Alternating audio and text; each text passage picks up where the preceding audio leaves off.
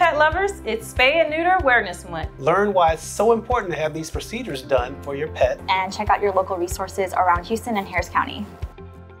So my name is Dr. Malone. I'm the medical director here at the Houston Humane Society. Been here about six years, and I'm responsible for overseeing all of the medical care that's associated with the shelter animals as well as the animals that we see from the general public. Hi, I'm Dr. Kamiko Dixon, Director of Veterinary Operations at Harris County Pets. Day to day, I am performing spays and neuters in, on our shelter animals, as well as treating any sick or injured pet that comes in the shelter. Hi, my name is Grace Lee. I'm a veterinarian at BARC Animal Shelter and Adoptions. I am responsible for the medical care and treatment of the animals that come through our shelter. I also perform surgeries such as spaying and neutering.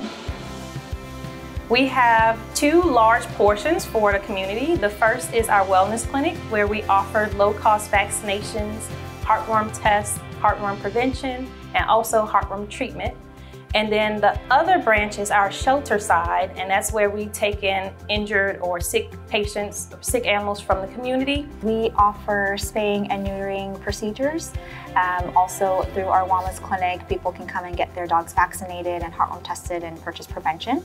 Um, we offer volunteer opportunities and fostering programs um, for our animals here at the shelter.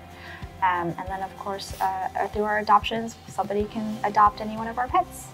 Here at the Houston Humane Society, we offer a variety of services. One, we have a full service wellness clinic where we can do diagnostics, uh, we do spay neuter, we do other surgeries, special surgeries, dentals, heartworm treatment, uh, of course, vaccines, microchipping, and all of the things that you can have done in a general practice.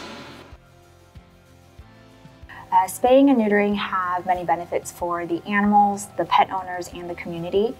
Um, spaying and neutering will prevent unplanned pet pregnancies and reduce the number of homeless animals that roam around the streets each year. It also reduces the risk of certain reproductive cancers and infection. On average, the age will vary depending on the breed and the size of the patient. I always encourage for those animals who have regular vet visits to get with your local veterinarian and make that decision.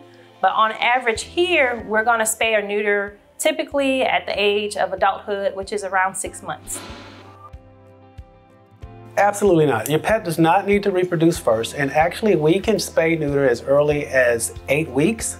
Uh, typically in, in, cats and kittens, if, if, they're two pounds, which typically they grow a pound a month, if they're two pounds, we can do the spay neuter, and some organizations are doing them as early as a pound and a half for, for kittens.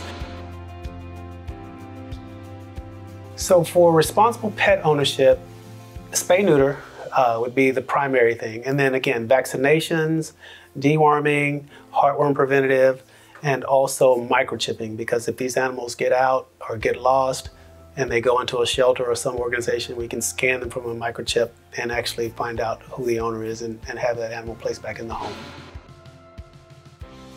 Yeah, some negative um, effects that pet owners might experience from not spaying and neutering um, is some behavior related issues such as aggression.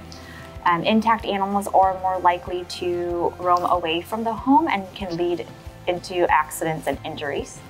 Um, we can also see increased urinary marking and um, spraying behaviors from intact animals as well. On average, it will take seven days for your pet to heal after spay and neutering. So we just have to remember no baths, no long walks, and no rough playing for a full week.